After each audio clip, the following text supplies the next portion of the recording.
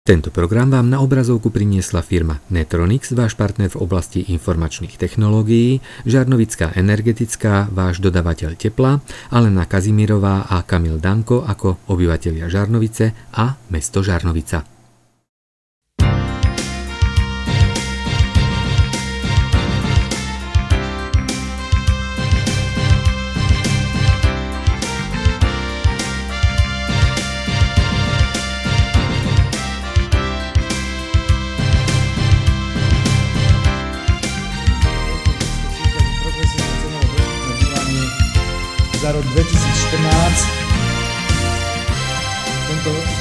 Tento bod sa tam navrhol z toho dôvodu, že mesto, keď preberalo takisto ako, ako užívateľ tohto nájomného bytového domu do vlastníctva takéto isté ocenenie, tak sme boli požiadaní ministrom výstavby o odozdanie takéhoto ocenenia aj pre zhotoviteľa a aj pre projektanta tohto bytového domu. Takže toto je jediný návrh, ktorý zišiel z rokovania Mestskej rady na doplnenie programu bod číslo 2. Poprosím vás k tomuto návrhu na program rokovania, má nejaký dotaz alebo pripomienku? Pokiaľ nie, nechám teda hlasovať o návrhu na dnešný program dnešného rokovania v takom znení, ako je prednesený. Poprosím vás, hlasujeme. Ďakujem pekne, nikto sa nezdržal, nikto nie je proti. Tak prejdeme k procedurálnym otázkám. Je to schválenie programu a zloženie, teda respektíve schválenie návrhovej a mandátovej komisie. Ešte sa opýtam, pani overovateľky, či boli námietky voči zápisu z minulého rokovania Mestského zastupiteľstva, bola podpísaná bez námietok. Poprosím pani poslankyňa Vavrová. Janka. Uh, neboli nejaké námietky voči zápisnici, tým pádom je zápisnica overená schválne. Ďakujem pekne. Takže pokračujeme ďalej. Pre vašu informáciu z 13 poslancov Mestského zastupiteľstva je dnes prítomných 10, to znamená, že sme uznašania schopní s tým, že traja poslanci, e, teda respektíve tri pani poslankyne sa riadným spôsobom ospravedlňujú z dnešného rokovania. Takže budeme pokračovať e, v zložení, respektíve v schvalovaní návrhovej komisie.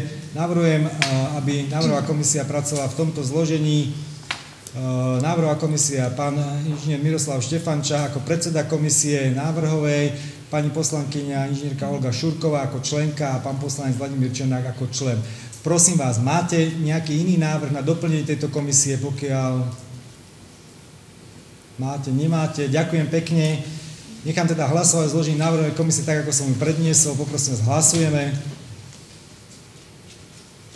Ďakujem pekne. Nikto sa nezdržal, nikto nie je proti.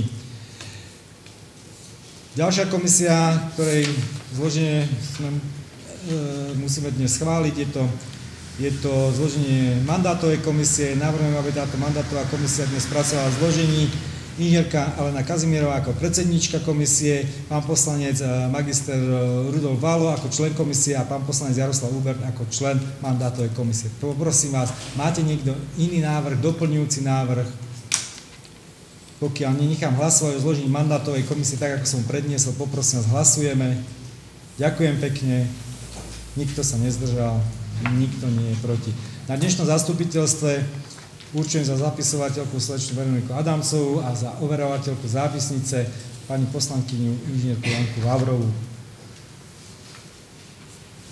To sú všetky procedurálne záležitosti z bodu číslo 1 a prejdeme k bodu číslo 2. Ako som spomínal, na sneme Združenia miest a obcí je, som eh, bol oslovený ako zástupca mesta na prezatie ocenenia, pretože Každoročne e, je vyhlasovaná súťaž e, ministerstvom dopravy a e, výstavby o najkvalitnejšie prevedené stavby, ktoré sú podporované z verejných zdrojov, tak bola zaradená do tejto súťaže aj stavba nášho bytového domu, ktorý v minulom roku bol daný do užívania.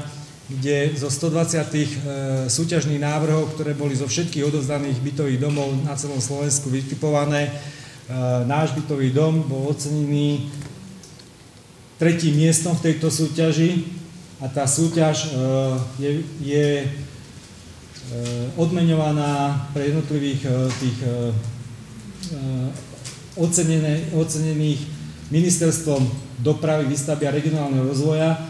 A tento to, toto ocenenie je na základe komory, Slovenskej komory architektov, kde vyloženie odborníci hodnotia celkové prevedenie tohto diela a projekčné riešenie. Samozrejme, že tam niekoľko kritérií, takže ja by som uh, vám predniesol, samozrejme, že ešte dovolte mi, aby som na začiatku privítal medzi nami na dnešnom rokovaní uh, pána inžiniera Šuleka, Šuleka, výrobného riaditeľa firmy Remeslo Stav, Vítajte medzi nami. A pána inžiniera Vojtáša z projekčnej firmy Saba, ktorá už tiež pre nás niekoľko vecí projektovala. Takže dovolte mi teda, kolegyne, kolegovia, aby som splnil to, čo, o čo som bol požiadaný ministerstvom dopravy a udelil tieto ocenenia, diplomy aj tým dvom spoluautorom tohto diela. Ja skutočne mimo to, že boli ocenení, ja im chcem poďakovať takto verejne, za to, že tieto bytové dom, tento bytový dom je skutočne prevedený vo veľmi dobrej kvalite a jeho obyvateľia sa tešia z toho, že dostali k dispozícii takéto kvalitné a cenovo dostupné bývanie a dnes to slúži 57. obyvateľom, 7. alebo 8. Tak možno sa tam už niekto narodil, takže 58. obyvateľom nášho mesta. A chcem ešte podotknúť, že táto investícia bola zrealizovaná vo výške cez 1,5 milióna eur s tým, že mesto Žarnovica získalo dotáciou priamo cez pol milióna eur na túto stavbu. To znamená, že veľmi výhodne sme získali aj dotáciu, ktorú nemusíme ako vlastník tohto bytového domu splácať do, do rozpočtu alebo respektíve do štátneho fondu rozvoja bývania. Chcem ešte podotknúť, že zhotoviteľ e, pri konci odovzdávania tohto diela sponzorsky daroval mestu e, diela, ktoré vybudoval naviac nad rámec tejto zmluvy a boli darovacie zmluvy odovzdané mestu do užívania. To boli rozšírenie parkovacích ploch a zároveň aj malé detské ihrisko. Takže chcem tomuto poďakovať a chcel by som poprosiť pána inžiniera Šuleka, aby si prišiel oficiálne prevziať toto ocenenie a prečítam to celé.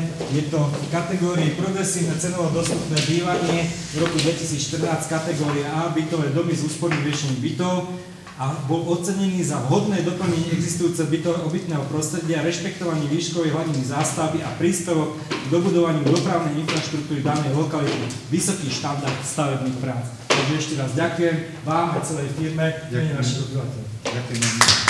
Teším sa.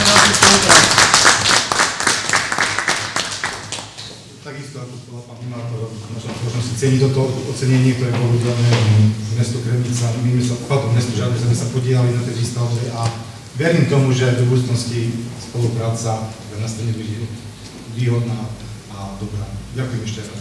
Ďakujem pekne a doprajem aj mestu Kremnica, nech sa im podarí takýto pekný bytový dom postaviť. Dobre.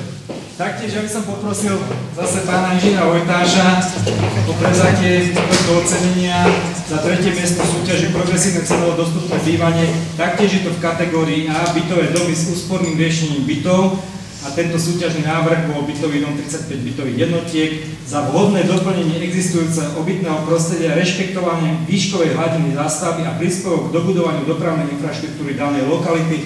To si myslím, že je vyložené parketa pána inžiniera a samozrejme tiež je to vysoký štandard stavebný prác ako autorizovaný projektár samozrejme na to dohľadal. Takže ďakujem pekne za túto spoluprácu a s radosťou vám tento za to. Nech sa páči.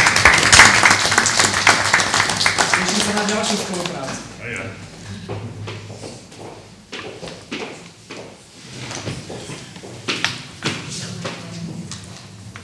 Dobre, takže veľmi pekne vám ďakujem, že ste prijali naše pozvanie a boli ste tu medzi nami a teším sa na ďalšie stretnutie s vami. Všetko dobré, dovidenia. No a my sa už vrátime k ďalšiemu, ďalšiemu bodu rokovania a je to bod číslo 3. Je to kontrola plnenia uznesení. Nech sa páči, uh, pani prezidentka. Ako všetky termínové uznesenia sú ku dnešnému dňu splnené. Ďakujem pekne. K, uh, k tomuto bodu otváram rozpravu. Máte niekto niečo do rozpravy? Pokiaľ nemáte, prejdeme k ďalšiemu bodu. Ďalší bod je bod číslo 4, to sú prevody nehnuteľnosti a nakladnenie s majetkom mesta.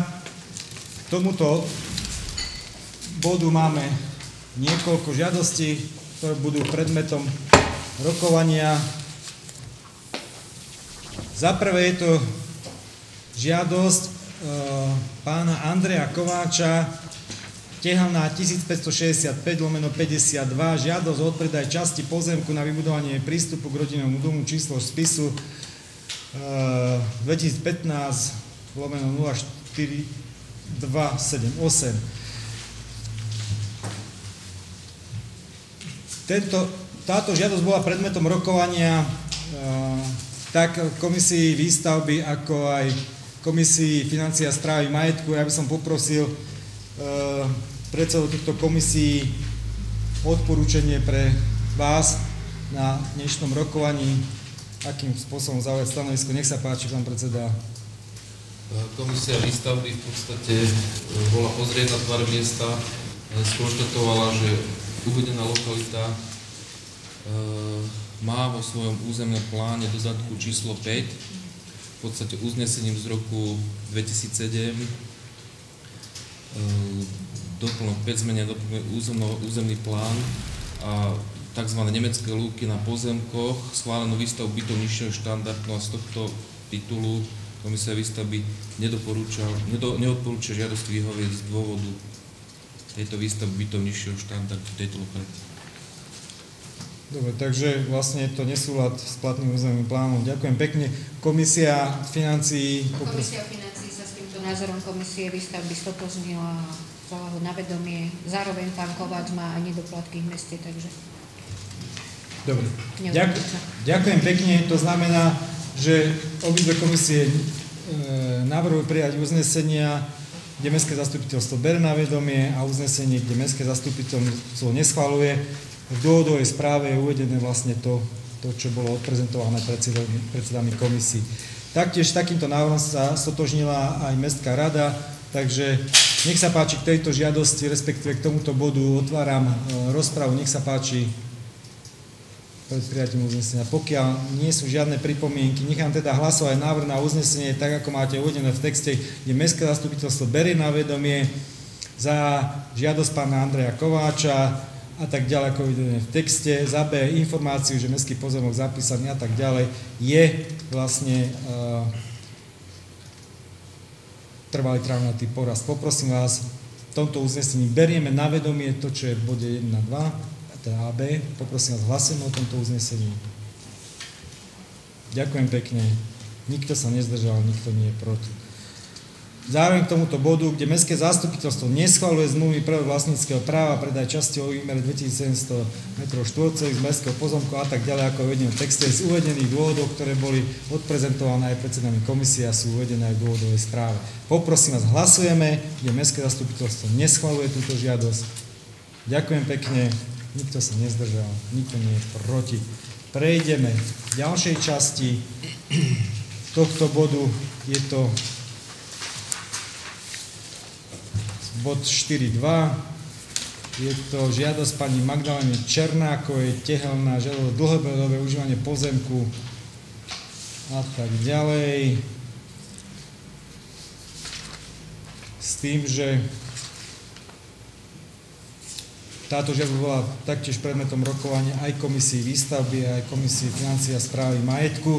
Poprosím vás, e, pán predseda na komisii Takže žiadosť, žiadosť pani Magdaleny Kovačovej. V podstate komisia výstavby bola na tvare miesta. Jedná sa o našu lokal, lokalitu Tehelná. E, s tým, že pri miestnej obhliadke bolo zistené, že na predmetnom pozemku už je postavená stavba, čo je viditeľné na ortofotomape aj na jednotlivých podkladoch. Uvedená žiadosť je tým pádom bezpredmetná, odporúčila stavebnému úradu e, vykonať dohľad e, s tým aj s poznámkou, že lokalita nie je riešená v územnom pláne mesta a mesto nemá na predmetnej časti pozemku žiadny zámer výstavby. Ďakujem pekne. Komisia financí. Komisia financí sa tak tiež v tomto bode stotožná s komisiou výstavby a neodporúča Áno, pokiaľ nebola- je žiadosť neopodstatnená. Tak, pokiaľ žiadosť ste neodporúčali z komisii, takže jasne, ste. Dobre, e, ďakujem pekne. To, čo povedala pán predseda komisie, bol, táto žiadosť bola tiež predmetom rokovania, alebo respektíve návrh na uznesenie aj na rokovaní Mestskej rady, kde Mestská rada odporúčila vypustiť e, z toho materiálu to čo, to, čo je tam vyčiernené v návrhu na uznesenie, kde neschvaluje, nakoľko, pretože Mestská rada prijala uznesenie, kde, kde uložila e, oddeleniu výstavby preveriť e, zistené skutočnosti komisiou výstavby a v prípade, že jednoducho sa tam jedná o nepovolenú stavbu, cez štátny stavebný dohľad prijať opatrenia. Takže to je uznesenie Mestskej rady, takže preto už sa to nedávalo do uznesenia na dnešnom zastupiteľstve s tým, že tie ďalšie dve uznesenia sú vlastne už bezpredmetné, keďže v prvom uznesení sa berie na vedomie a v druhom uznesení sa neschvaluje táto žiadosť. Takže poprosím vás, k tejto žiadosti otváram rozpravu. Máte niekto niečo na dotaz, na doplnenie? Pokiaľ nie, nechám teda hlasovať o uznesení, kde Mestské zastupiteľstvo berie na vedomie žiadosť pani Magdalény Černákovej, tak ako je uvedené v texte a ako máte aj v materiáloch, poprosím vás, hlasujeme, kde beriete na vedomie. Ďakujem pekne. Nikto sa nezdržal, nikto nie je proti. Nechám teda hlasovať, kde Mestské zastupiteľstvo neschvaluje dlhodobý prenájom mestského pozemku a tak ďalej, ako je uvedené v texte e, s úpravou poslednej vety od čiarky, kde, ktorá je vyškrtnutá nakoľko na predmetnú stojí stavba, pretože tam je uznesenie Mestskej rady, ktoré ukladá stavebnému úradu. Poprosím vás, hlasujeme o tomto návrhu uznesenie, poprosím vás, hlasujeme. Ďakujem pekne. Zdržal sa niekto? Je niekto proti? Nie. Prejdeme k ďalšej žiadosti. Je to žiadosť 4 lomeno 3. Je to žiadosť pani e, Pauliny Kopčovej nad Mlynom. Žiadosť o viedenie a súhlas. Tak ako máte uvedené v materiáloch. Poprosím vás, e, bolo to predmetom rokovania aj jednej komisie, aj druhej, tak poprosím pán predseda vaše odporúčanie pre, pre rokovanie mestského zastupiteľstva. Dobre, ja predpokladám, že kolegovia budú mať správne materiály pred sebou, lebo tam tých variant bolo trošku viac.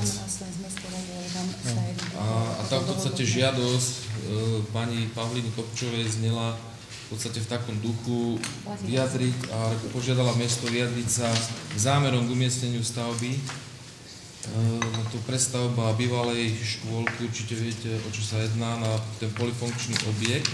S tým, že tam bolo viac alternatív, nakoľko tam tie pôvodné alternatívy sa nebrali do úvahy z dôvodu, aby sa tam neohrozovali chodci na tom chodníku. E, boli sme sa tam osobne pozrieť, e, bol aj, bola aj pani Kopčová na jednaní s tým, že komisia výstavby odporúčila, odporúčila Mestskému zastupiteľstvu dve uznesenia schvalovať zámery.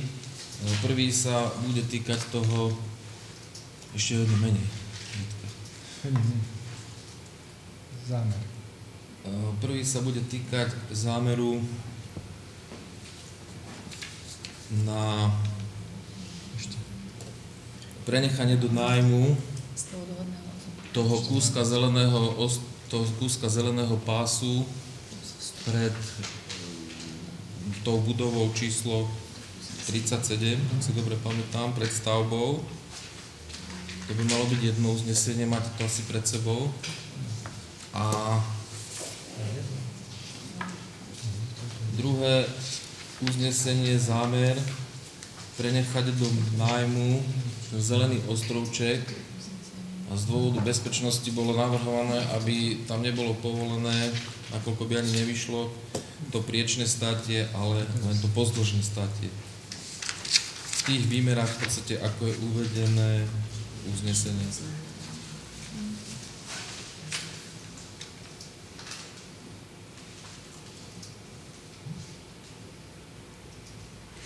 Nevadí. Ďakujem pekne. Uh, Pani predsednička, z vašej komisie odporúčanie. E, Komisia financí a správy majetku odporúčila taktiež riešiť vstup vlastne formou osobitného zreteľu s e, jednorazovou výškou nájmu vo výške 200 eur.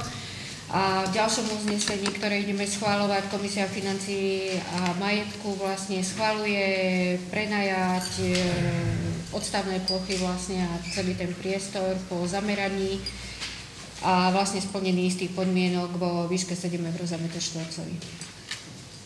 Ide o priamy predaj v tomto prípade. Predajom. Predajom. Dobre, takže, takže uh, toto sú odporúčania. Ďakujem pekne. Uh, s tým, že teda vlastne tie pozdĺžné parkovacie plochy budú zverejnený zámer, áno, a tam ide o priamy prenájom. Dobre?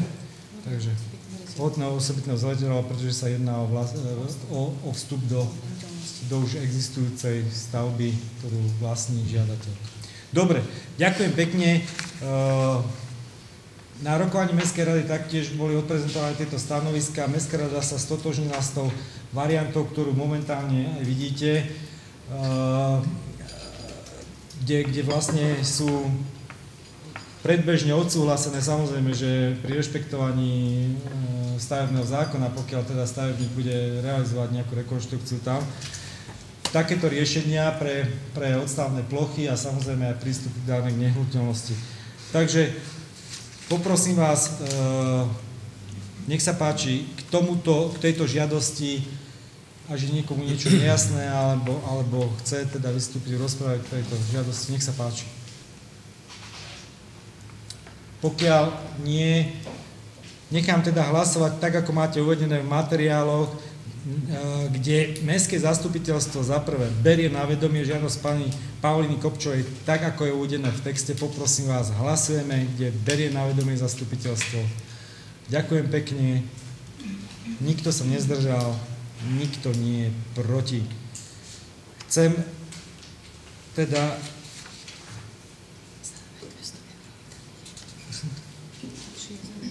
Áno.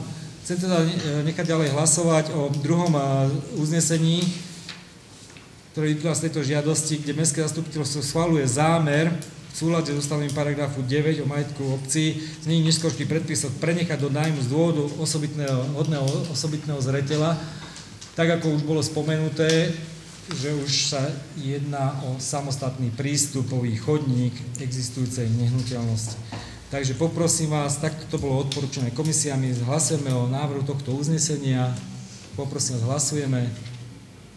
Ďakujem pekne, nikto sa nezdržal, nikto nie je proti. Prejdeme k ďalšiemu uzneseniu,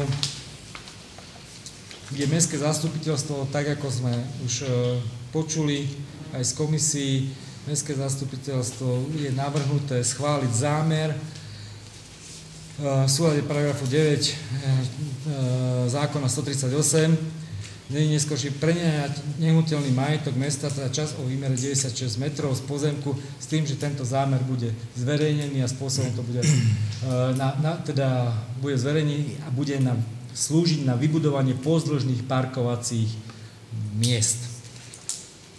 Poprosím vás, nechám hlasovať o návrhu tohto uznesenia Hlasujeme. Ďakujem pekne. Nikto sa nezdržal. Nikto nie proti. Prejdeme k ďalšej časti. Je to žiadosť firmy Dubai Trade, spoločnosť určením umezeným, februára 627 lomeno 11. Taktiež táto žiadosť bola predmetom rokovania obidvoch komisí. Poprosím vás teda v stručnosti Takže žiadosť Dubaj Trade SRO, žiadosť o súhlas s trvalým záberom časti parcely pre zjadenie vjazdu na pozemok. Komisia po návšteve uvedenej lokality skonštatovala, že určite nebude súhlasiť e, s trvalým predajom, ale stotožnila sa, že bude odporúčila teda odporúčila teda pre, ten, pre to zriadenie vjazdu na ten pozemok e, prenájom. E,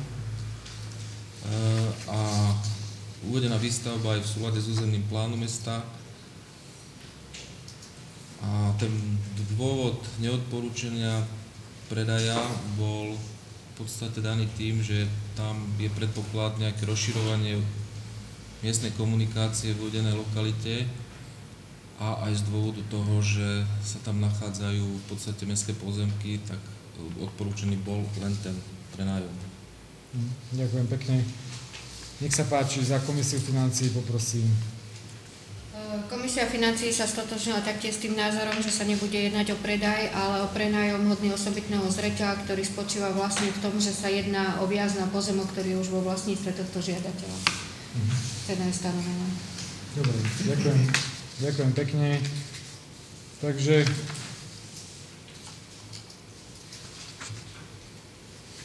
Bolo to odprezentované, bolo to predmetom rokovania aj Mestskej rady, kde Mestská rada odporúčila Mestskému zastupiteľstvu prijať tieto uznesenia tak, ako vám boli doručené v materiáloch. Poprosím vás teda, sú nejaké pripomienky alebo dotazy, nejasnosti, alebo sa chce niekto prihlásiť do rozpravy. Pokiaľ nie, nechám teda hlasovať návrh na uznesenie, kde Mestské zastupiteľstvo berie na vedomie žiadosť spoločnosti Dubai Trade tak ako je uvedené v texte, beriete na vedomie. Ďakujem pekne. Nikto sa nezdržal, nikto nie proti. Hlasujeme, kde Mestské zastupiteľstvo neschvaluje trvalý záber Mestského pozemku časti v, za účelom zriadenia výjazdu. Poprosím vás, hlasujeme.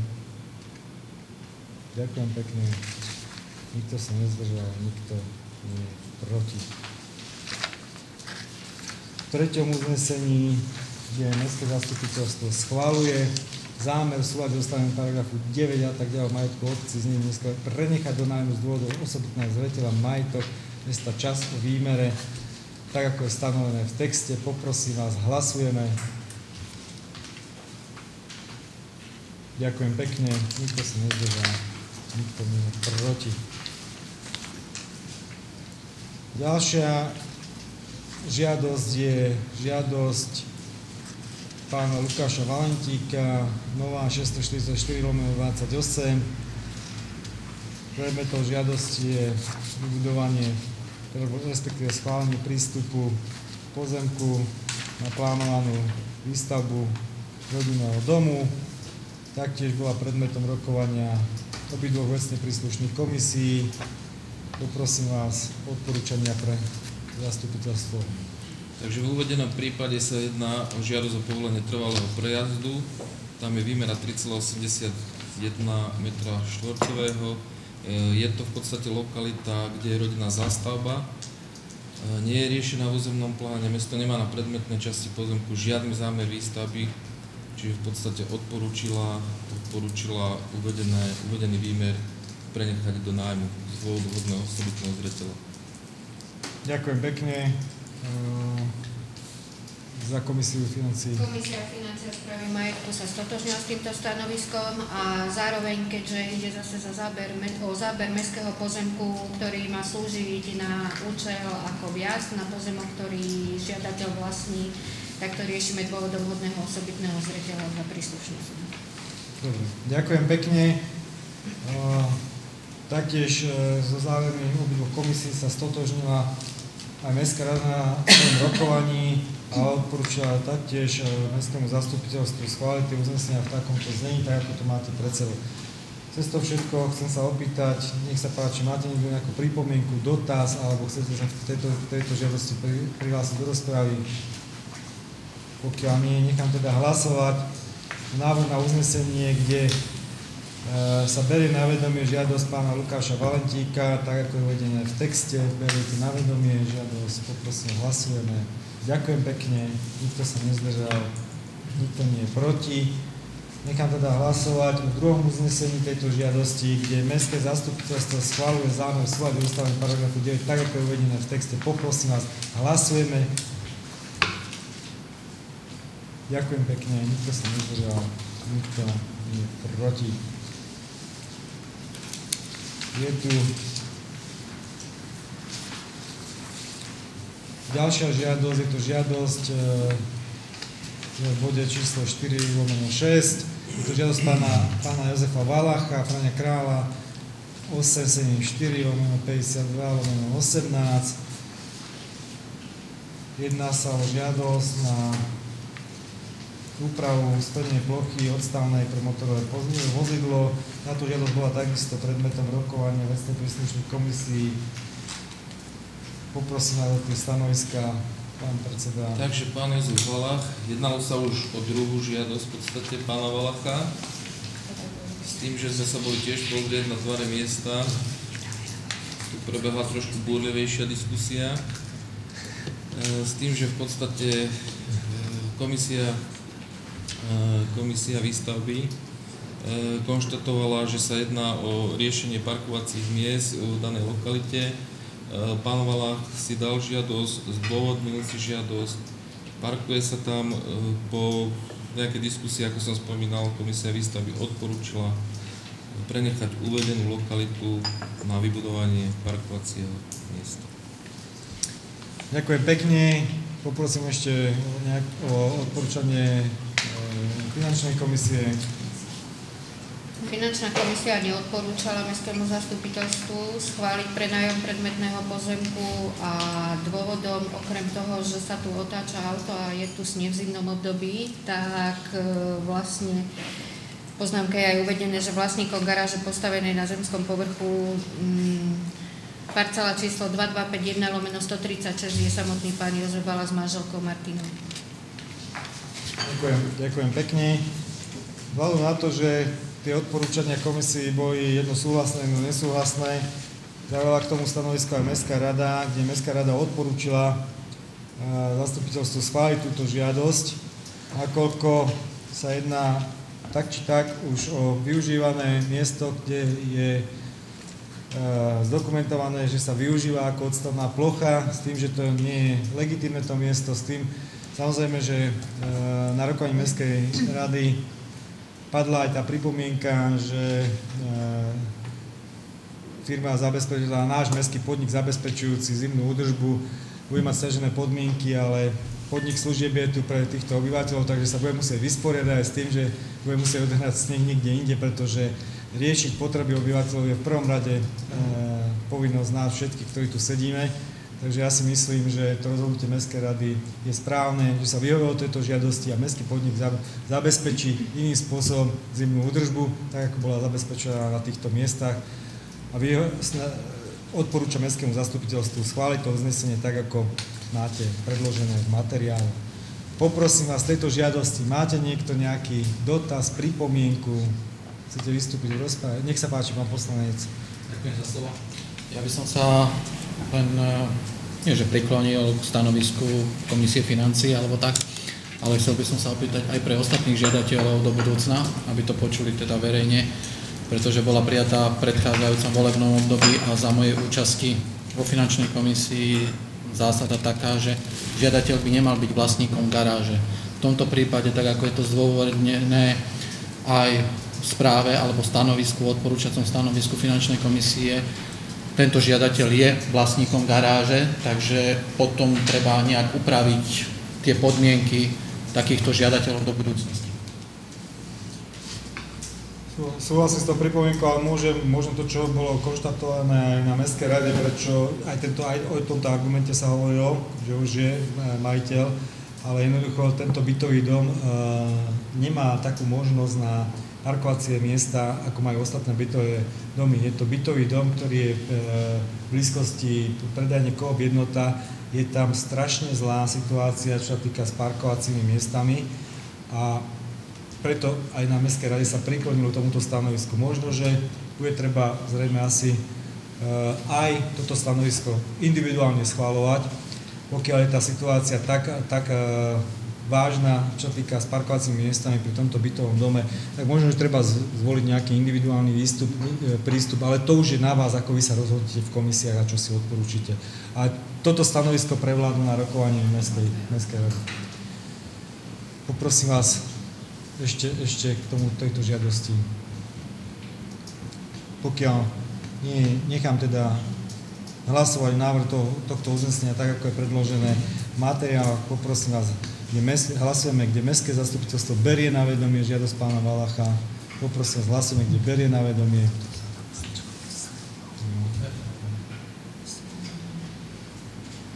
No. Dobre, e, ne, neviem teda teraz. Te- Toto už platí, áno? Á, Ďakujem pekne. Zobrať na vedomie. Poprosím vás ešte, tam je doplnený ten text e, s tým, že v minulosti v tých zásadách ešte musím pripomenúť, tam sa tiež k tomu vrátili aj k tejto pripomienke, pán poslanec. E, V minulosti sa nám stalo to, že sme, že sme do podmienok, zmluvy podmienok žiadateľom nestanovili, do akej doby má byť upravené toto odstavné miesto a stalo sa nám to, že užívajú tie schválené odstavné miesta bez úpravy týchto odstavných miest. Tak toto sa tam doplnilo to, čo vidíte v červenom odstavnú plochu žiadateľ vybuduje najneskôr do 4 mesiacov schválenia nájmu. Do doby vybudovania odstavnej plochy žiadateľ nebude parkovať na vymedzenom mieste. To znamená, že pokiaľ nebude vybudované to, odstav, to odstavné miesto, nebude tam môcť parkovať a pokiaľ by ho nevybudoval, tak sa poskytne toto parkovacie miesto inému záujemcovi, pretože aj dnes by malo byť predmetom rokovania takáto situácia. Dobre, takže ďakujem pekne, toto je tam doplnené, to som vám zabudol. Poprosím vás, teda nechám hlasovať návrhu na uznesenie, kde Mestské zastupiteľstvo schváluje zámer e, podľa paragrafu 9 majetku obci z nich neškodších predpisov prenechať do nájmu z dôvodu hodného osobitného zreteľa. Poprosím vás, hlasujeme o tomto návrhu na, na uznesenie. Hlasujeme. Dvaja sa zdržali, ostatní sú za. Ďakujem pekne. Prejdeme k ďalšej žiadosti. Žiadosť pani bakalárka Vedrika Adamcová, Klakovská 878. Taktiež je to žiadosť na vybudovanie odstavnej plochy pre súkromné motorové vozidlo. Táto žiadosť bola tiež predmetom rokovania vecne príslušných komisí. Poprosím vás stanovisko. V podstate tak, ako v predchádzajúcom prípade sa jedná o vybudovanie odstavnej plochy, komisia výstavby odporúčila zriadiť odstavnú plochu v uvedenej Ďakujem. lokalite. Ďakujem pekne. Ďakujem pekne. Z druhej komisii Komisia financia a správy majetku taktiež odporúčila za tých istých podmienok ako ostatní zriadovateľ týchto odstavných spol. Ďa- Ďakujem pekne. Tu tiež neboli nejaké pripomienky ani pri rokovaní Mestskej rady pri rokovaní tejto žiadosti. Tak e, Mestská rada odporúčila v takom znení aj prijať uznesenia, ako máte z materiálov, kde Mestské zastupiteľstvo berie na vedomie a taktiež sa v tom druhom uznesení, kde sa schváluje, doplnili tie dve vety, kde musí tú odstavnú plochu zriadiť a až potom ju môže riadne užívať. Pokiaľ nie, tak sa postupí inému žiadateľovi. Takže poprosím vás, hlasujeme o týchto dvoch uzneseniach. Za prvé, Mestské zastupiteľstvo berie na vedomie, hlasujeme. Ďakujem pekne. Nikto sa nezdržal, nikto nie je proti. Druhé uznesenie k tejto žiadosti, kde Mestské zastupiteľstvo schváluje zámer v súlade s ústavným paragrafu 9 a tak ďalej, ako je uvedené v texte. Poprosím vás, hlasujeme. Ďakujem. Nikto sa nezdržal, nikto nie je proti.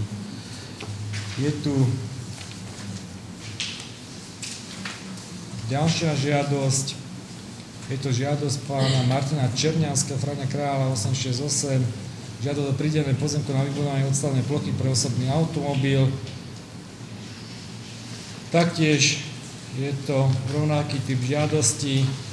Chcem poprosiť, bolo to predmetom rokovania komisii, o odporúčanie jednotlivých komisí, poprosím. V podstate tak ako v predchádzajúcich prípadoch odstavná plocha v danej lokalite e, za tým bytovým domom, s tým, že v podstate tu boli dve žiadosti. Jedna bola žiadosť pána Černianského o pridelenie pozemku na vybudovanie odstavnej plochy a s tým, že tam sú vybudované štyri odstavné plochy a jedna tá odstavná plocha zostala voľná, tak e, z uvedeného dôvodu sa tam súhlasilo s pridelením odstavnej plochy E, na, tu, na tom voľnom priestranstve s tým, že práve tu sa vyskytli tie problémy, že tá jedna odstavná plocha nebol, nebola e, vybudovaná v zmysle podmienok zmluvy a z toho titulu sme pristúpili aj k tým úpravám na tých zmluvách. Takže komisia výstavby súhlasila s vybudovaním.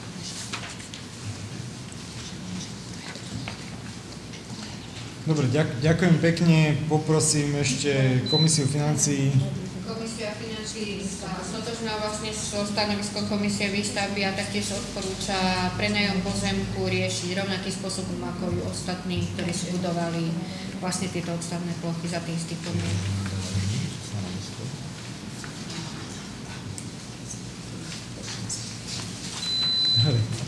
Ďakujem, ďakujem pekne. No, toto je, toto je jeden z tých prípadov, o ktorých sme hovorili, že, že aj keď sme v minulosti nejaké e, žiadosti schválili, neboli rešpektované tie pravidlá, ktoré neboli zazmluvnené, tak teraz budú, e, budú predmetom, predmetom e, zmluvy s týmito žiadateľmi zo strany mesta, aby tie podmienky boli splnené.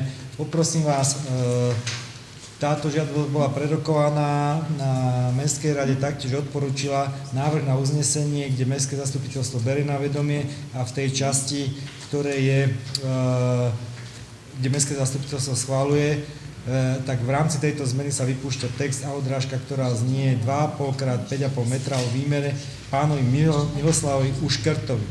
Hej? To znamená, lebo doteraz to odstavné e, miesto pre motorové vozidlo nebolo vybudované. Taktiež budeme postupovať aj pri tých ostatných odstavných miestach, pokiaľ sa zistí, že nebolo to e, odstavné miesto vybudované, poskytne sa inému žiadateľovi k dispozícii, tak aby rešpektoval tie pravidlá, ktoré sú tu stanovené a za ktorých sa im schváluje vybudovanie týchto odstavných ploch. Takže poprosím vás, Máte ešte nejaký dotaz tejto žiadosti, pripomienku, respektíve chcete vystúpiť v rozprave? Pokiaľ nie, nechám teda hlasovať o návrhu na uznesenie, kde Mestské zastupiteľstvo berie na vedomie za žiadosť pána Martina Černianského stanovisko zástupkyne vlastníkov bytov pani Heleny Černianskej. Poprosím vás, hlasujeme, kde beriete na vedomie. Hlasujeme. Ďakujem pekne. Nikto sa nezdržal, nikto nie je proti. Eh, hlasujeme o druhom uznesení, kde Mestské zastupiteľstvo schváluje zmenu uznesenia číslo 143. To, ako som už uvádzal, z akého dôvodu, poprosím vás, takže schválujeme túto zmenu uznesenia. Ďakujem pekne, nikto sa nezdržal, nikto nie je proti. Tým, že sme zmenili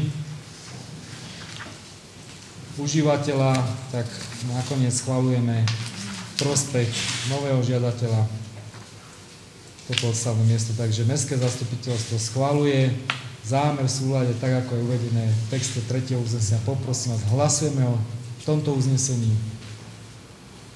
Ďakujem pekne. Nikto sa nezdržal, nikto nie je proti. Ďalej je tu žiadosť pána Pavla Suja, manželky Márii, Nová 639 lomeno 4, žiadosť o súhlas s vedením prípojky dažďovej kanalizácie. Taktiež táto žiadosť bola predmetom rokovania vecne príslušných komisí. Poprosím vás o to stanovisko. V uvedenej lokalite sa nachádza novostavba pána komisia výstavba, komisia výstavby v podstate po oboznámení sa s žiadosťou odporúča žiadosti vyhovieť, ako lokalita nie je riešená v územnom pláne a odporúča, odporúča Mestskému zastupiteľstvu pre účely stavebného konania súhlas e, s vedením prípojky dažďovej kanalizácie. Ďakujem pekne za komisii financí. Bolo toto e, predmetom rokovania? Bolo to predmetom rokovania, súhlasíme s názorom komisie financí a vlastne odporúčame uzavrieť so žiadateľkou zmluvu o uzavretí budúcej zmluvy o zriadení väčšného bremena za týmto účelom.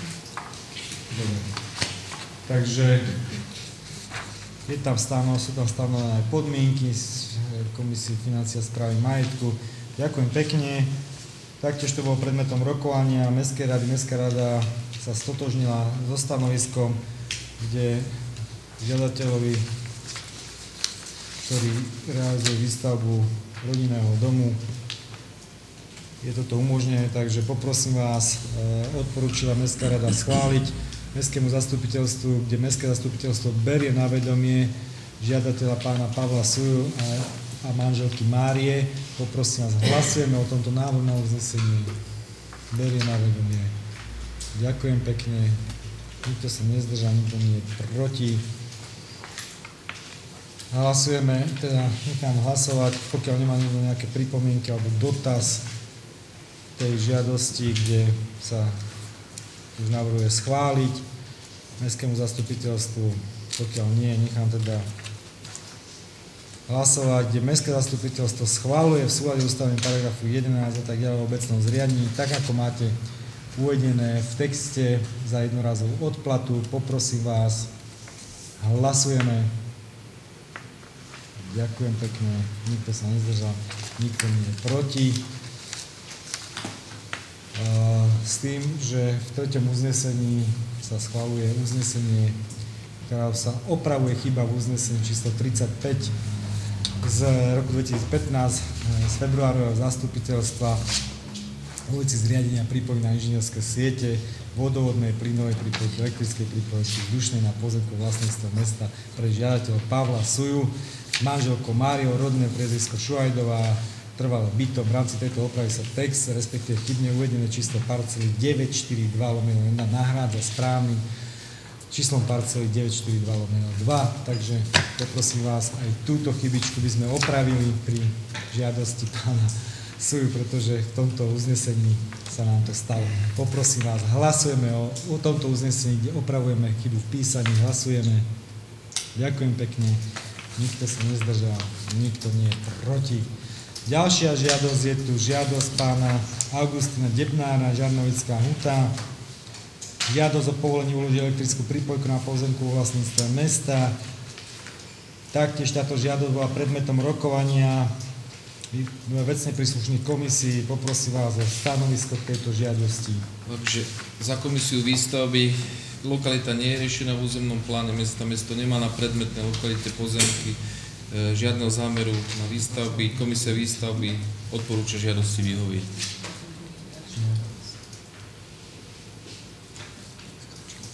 Ďakujem pekne. V druhej komisii Komisia financí opäť odporúča uzavrieť na účely stavebného konania so žiadateľom zmluvu o uzavretí budúcej zmluvy, taktiež so zriadením vecného bremena na tieto. Dobre. Ďakujem pekne. Na rokovaní Mestskej rady neboli žiadne pripomienky k eh, návrhom a odporúčaniam z jednotlivých komisí, tak, takže Mestská rada odporúča Mestskému zastupiteľstvu schváliť uznesenia ktoré rešpektujú stanoviska poradných komisí, tak ako ich máte v texte. Cez to všetko opýtam sa, máte niekto nejaký dotaz, pripomienku, alebo chcete sa pripraviť, e, prihlásiť v rozprave k tejto žiadosti? Pokiaľ nie, nechám teda hlasovať, kde Mestské zastupiteľstvo berie na vedomie žiadosť pána Augustina Debnára, tak ako je uvedené v texte, berie na vedomie. E,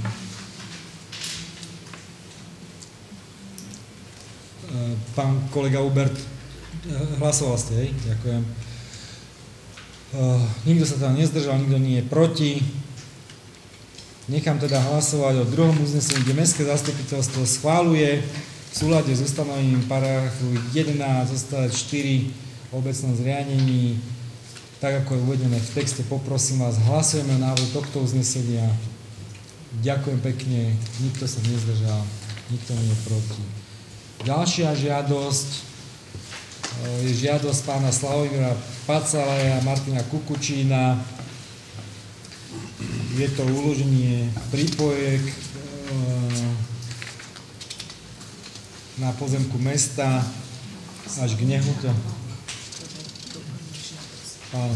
Takže e, chcem e, vás poprosiť, táto žiadosť taktiež bola predmetom rokovania jednotlivých komisí, poprosím vás o stanovisko Takisto možno skonštatovať, že lokalita nie je riešená v územnom pláne.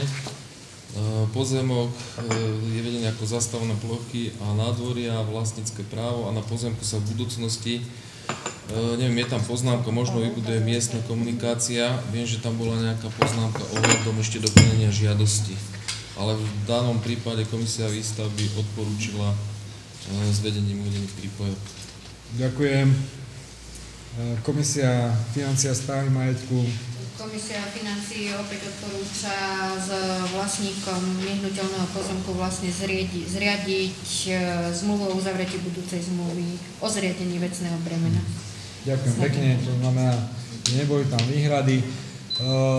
To, čo, to, čo spomínal pán predseda komisie výstavby, bolo v priebehu dňa doplnené, pretože tam vlastne sú žiadatelia dvoch, e, dvoch e, e, pozemkov vlastnice, ktoré, ktoré je možné využiť na výstavbu, ale žiadosť bola evidovaná, respektíve podaná len jedným z nich, takže žiadosť bola v priebehu doručená, je, je zaevidovaná, to znamená, že sú tam spoloční žiadatelia, takže poprosím vás, tá pripomienka, ktorá bola z komisie výstavby, tak žiadosť tak ako máte uvedené v texte pána Slavomíra Pacalaja, Martina Kukučína a Pavola Pacalaja, Fráňa Krála a sú uvedené obidve tie parcelné čísla 1072 a 1073. Tam, tam e, v tej grafickej prílohe vidíte, že to sú hneď pozemky, ktoré sú susedné. Dobre, takže môžeme vyhovieť po doplnení tejto žiadosti a môžeme prijať takéto uznesenie, tak ako máte uvedené. Pokiaľ sú nejaké dotazy alebo pripomienky, alebo chce niekto vystúpiť v rozprave v tejto žiadosti, pokiaľ nie, nechám teda hlasovať, kde Mestské zastupiteľstvo berie na vedomie žiadosť pána Slavomíra Pacalaja, doplnené a Pavla Pacalaja, Frania Kráľa, tak ako je ďalej uvedené v texte. Poprosím vás, hlasujeme návrhu tohto uznesenia. Ďakujem pekne, nikto sa nezdržal, nikto nie je proti.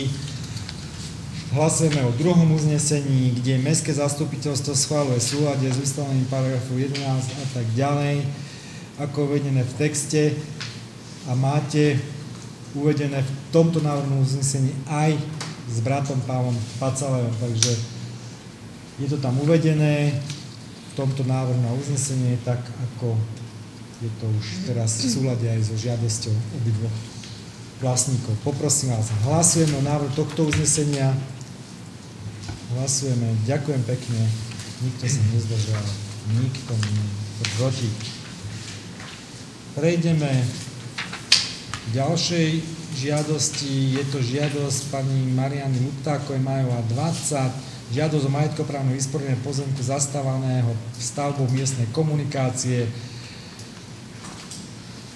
Toto bolo, táto žiadosť bola doručená s tým, že, že bola adresovaná mne. Samozrejme, ja som túto žiadosť postupil vecne príslušným komisiám Mestského zastupiteľstva, bola predrokovaná s návrhom na, na uznesenia pre vaše rokovanie, takže ja vás poprosím za jednotlivé komisie, nech sa páči. Takže za komisiu výstavby, keďže viac je to parketa komisie financií, ale skonštatovali sme, v podstate boli sme v uvedenej lokalite, s tým, že komunikácia je vybudovaná, nachádza sa v časti mesta, kde je zastava rodinných domov a sú k nim vybudované miestne komunikácie. Územný plán na ulici Slobody rieši tú lokalitu Parka na Prašila, kde sa v budúcnosti možno plánuje s výstavbou rodinných domov a vybudovaním inžinierských sietí. E, navrhujeme, aby v podstate no, sme navrhovali, aby to jednanie s pani Lutakovou prebehlo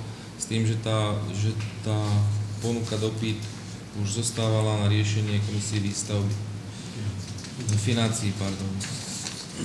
Ďakujem, ďakujem pekne. Za komisiu financií poprosím pani predsedničku. Do komisii financií sme vlastne mali predložené aj zápis pracovného stretnutia, ktorý sa konal 4. júna pani Luptákovou a so zamestnancami Mestského úradu. A vlastne na základe tohto odporúčam Mestskému zastupiteľstvu Komisia financí a správy majetku schváliť odkúpenie predmetnej časti pozemku za cenu, ktorú ponúkla vlastníčka pozemku. Ďakujem pekne.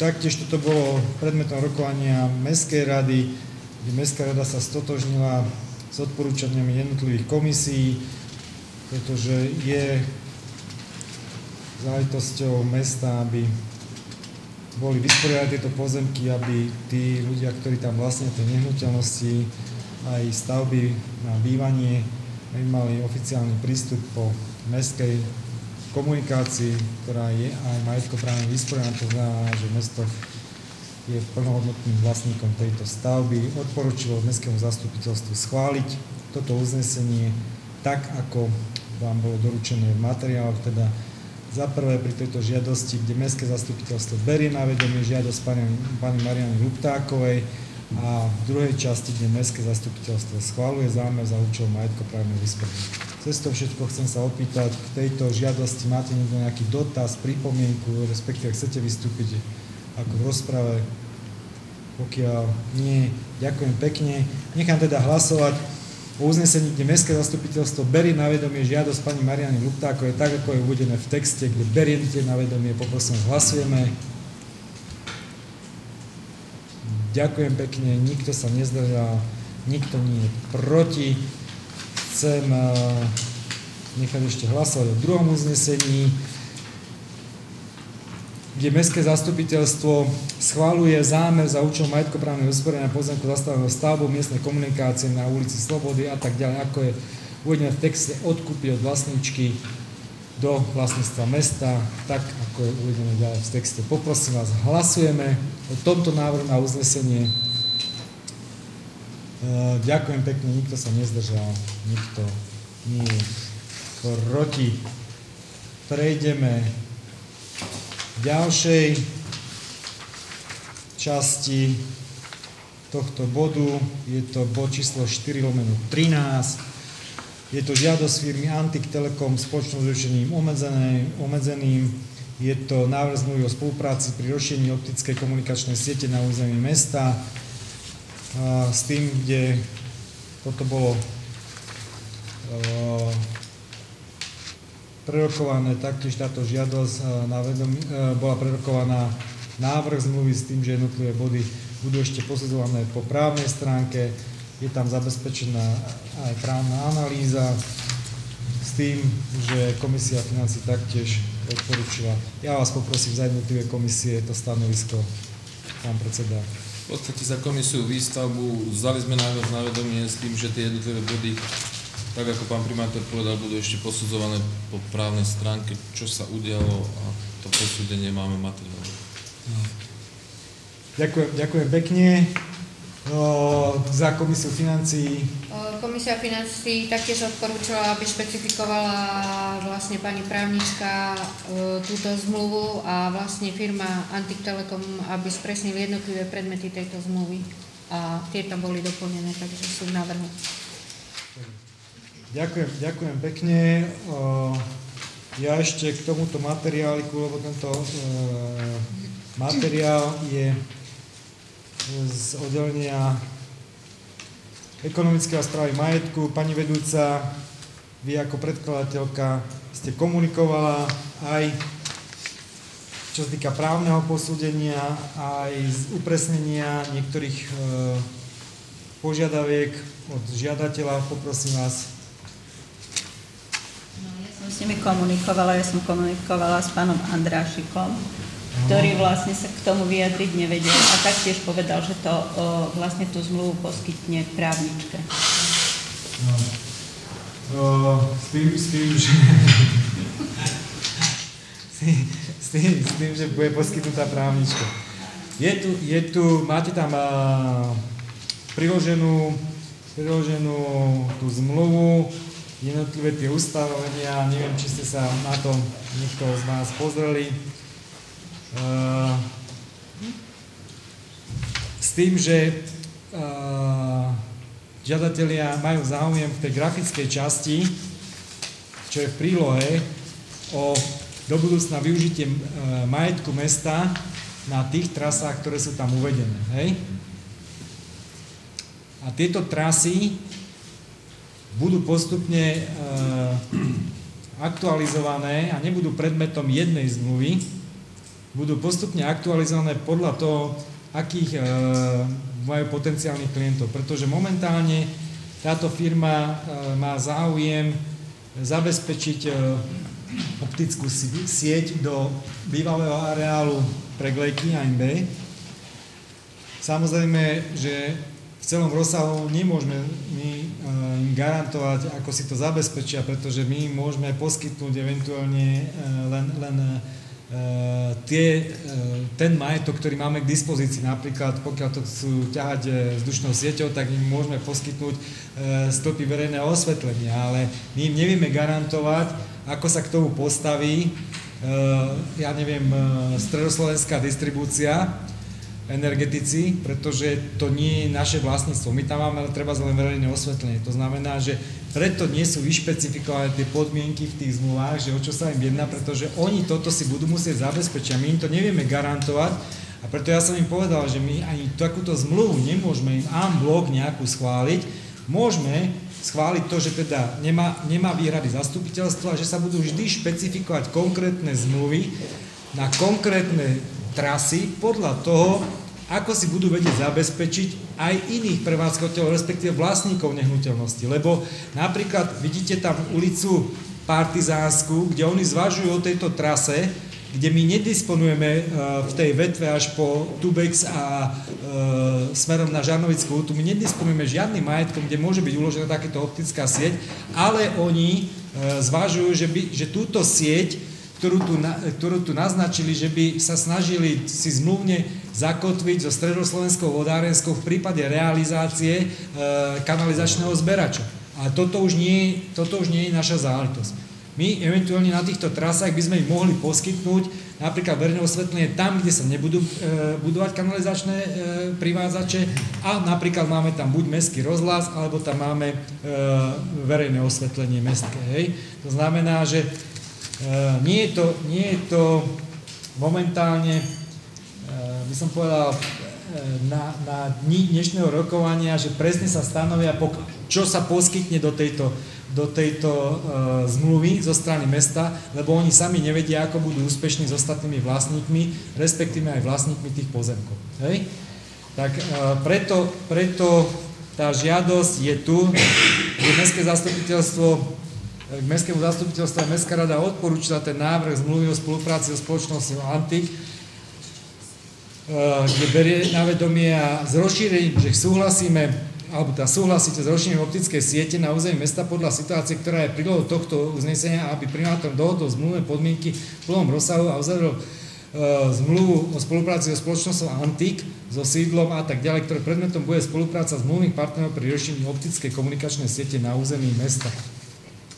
Mestské zastupiteľstvo súhlasia, aby primátor mesta dohodol podmienky a uzavrel vhodnú zmluvu, zmluvu o vypožičke, prípadne nepomenanú zmluvu občianského zákona, občianského zákonníka so spoločnosťou Antik ktoré predmetom bude bez, bezplatné poskytnutie priestoru na umiestnenie technologického zariadenia a povolenie prístupu na nehnuteľnosti, oporné body, konštrukcie, existujúce chráničky a podobne, ktoré sú vo vlastníctve mesta za účelom plnenia zmluvy o spolupráci pri rozšírení optickej komunikačnej siete na území mesta a to konkrétne podľa predloženej situácie na uliciach Bystrická, Dolná, Klakovská, Mierová, námestie Partizánska Slobody a žel, e, Železničná. Takže toto je, toto je vlastne návrh, návrh tej zmluvy o spolupráci uh, s firmou Antik.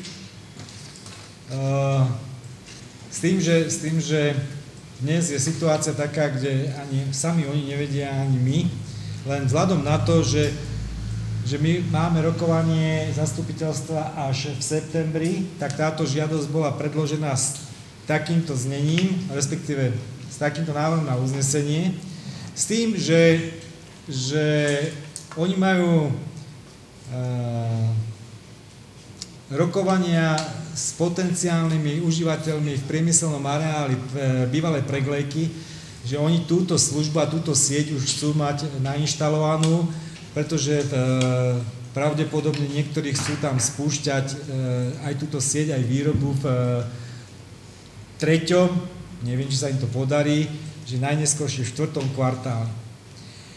Samozrejme, že oni rokujú ešte s firmami, e, sa mi zdá, že Bendorf, e, potom e, chcú si nahradiť to to, tú mikrovlnku, ktorá je umiestnená na strednej odbornej škole, takže aj s tými museli vstúpiť do rokovania. Samozrejme, že túto službu chcú poskytovať aj obyvateľom, ktorí na tých jednotlivých trasách budú, tak aby sa mohli pripojiť na túto optickú sieť. Pokiaľ to bude možné a samozrejme, že pokiaľ aj tí obyvateľia si dokážu majetkoprávne vysporiadať, pretože v tých miestach, kde mesto nevie garantovať a nie je vlastníkom ani nehnuteľnosti, ani iného majetku, po ktorom by mohla byť vedená táto optická sieť, že by si to museli aj tí, tí jednotliví žiadatelia vysporiadať. Takže je to taký beh, by som povedal, na dlhšie trate, ale ale pokiaľ to tí žiadatelia chcú, pretože tie firmy, ktoré sa tam etablujú, tak oni toto považujú za dosť takú bytostnú podmienku optickú sieť. Optickú sieť a momentálne sa to nedá iným, iným spôsobom riešiť. S tým, že pokiaľ by bol riešený ten kanalizačný privázač, pretože vy ste schvalovali aj to uznesenie, kde, kde sme súhlasili, alebo teda vy ste súhlasili, tak, sa ho, tak o kanalizačnom privázači sa hovorí aj celou ulicou Bystrickou, takže pravdepodobne, nie že pravdepodobne, oni, oni firma Antik, chce využiť všade a položiť e, optiku do zeme, pretože to je istota.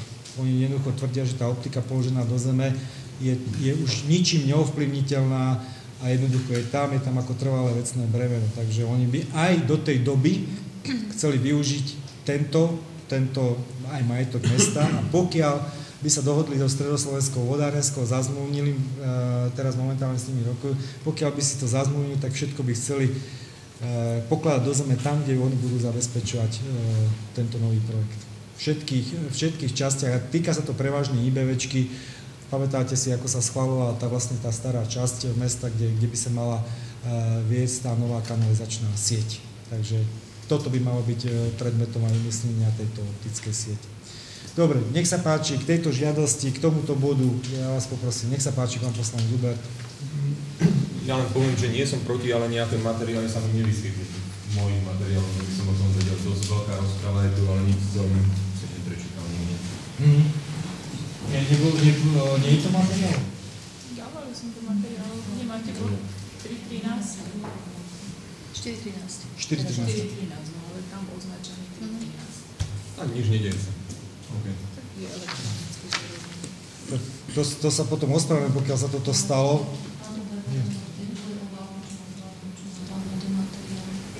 Jednu malú som dostal. No aj tú druhú. Druhú? Neviem. Asi. No. Nemám Tak to, to sa ospravedlňujem. Viem, viem, viem, viem pochopiť aj pokiaľ, pokiaľ sa zdržíte, samozrejme, že treba mať vedomosť o tom materiále, takže skutočne ja sa stala niekde chyba, ja sa ospravedlňujem aj za tých, ktorí to mali zabezpečiť. Takže poprosím vás, ešte k tomuto materiálu, máte niekto nejakú pripomienku? Dotaz. Pokiaľ nenechám teda hlasovať návrh na uznesenie, kde Mestské zastupiteľstvo berie na vedomie návrh zmluvy, poprosím vás, berie na vedomie. Ďakujem pekne. Druhé, druhá časť uznesenia, kde Mestské zastupiteľstvo súhlasí s rozšírením optickej siete komunikačnej, tak ako je uvedené v texte. Poprosím hlasujeme. Ďakujem pekne, nikto sa nezdržal, nikto nie je proti a poprosím vás o Hlasím o treťom uznesení, kde Mestské zastupiteľstvo súhlasí, tak ako je uvedené v texte, poprosím vás, hlasím o treťom uznesení. Ďakujem pekne, nikto sa nezdržal, nikto nie je proti. Pretože môžem povedať, že, že oni rokujú, lebo osobne už aj e, konateľ firmy e, Neumann, no teraz už mám problém, PVG, ten, ten už e, aj mňa osobne kontaktoval, že, že či vidíme tento priestor, aby, aby sa im mohlo takéto služby, lebo že pre nich to bude nevyhnutné, aby mohli byť e, kapacitne e, veľmi, veľmi dobre prepojení s, s, s holdingom a vlastne s ostatnými kooperujúcimi firmami, pretože takáto že takúto službu im zatiaľ nevedia garantovať, takže snáď z toho niečo, niečo bude rozumné. Dúfam teda. Zmena rozpočtu, tým sme vlastne vyčerpali bod číslo 4. Áno, takže sme sa dostali do bodu číslo 5 a to je zmena rozpočtu, rozpočtu opatrenie číslo 4. Na tento materiálik predkladá pani inžinierka Záhorcová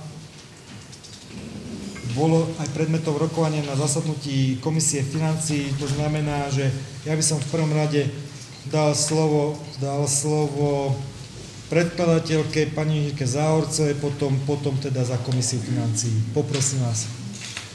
Ďakujem. V rozpočtovom opatrení číslo 4 sa povoleným prekročením rozpočtu upravuje rozpočet príjmových finančných operácií a to z fondu minulých rokov o 20 820 eur, ktoré sa vo výdavkovej časti použijú na kapitálové výdavky, a to na rozšírenie kamerového systému v čiastke 1320 eur, na vypracovanie projektovej dokumentácie na rozšírenie parkovacích miest pred bytovým domom na ulici Kráňa Kráľa číslo 848 v čiastke 1300 eur. Po, ďalej na rekonštrukciu a rozšírenie verejného osvetlenia v čiastke 1500 eur. E, na projektovú dokumentáciu na rekonštrukciu polkárne e, v čiastke 1500 eur.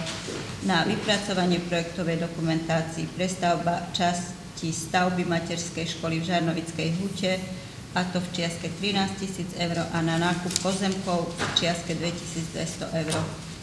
E, ďalej sa v príjmovej časti povoleným prekročením upravuje rozpočet e, príjmových finančných operácií a to z bytového fondu o 70 eur, ktoré sa vo výdavkovej časti použijú na opravu elektrického vedenia k nájomnému bytu v Kaštieli, E, ďalej sa presunom rozpočtu upravuje rozpočet na dotácie občianským športovým a neziskovým organizáciám v čiastke 14 tisíc eur, a ktorý bude presunutý z podprogramu e, podpora podprogramu 0903 podpora športových klubov v čiastke 12 300 eur a z podprogramu 1201 jedna opatrovateľská služba a to v čiastke 1700 eur.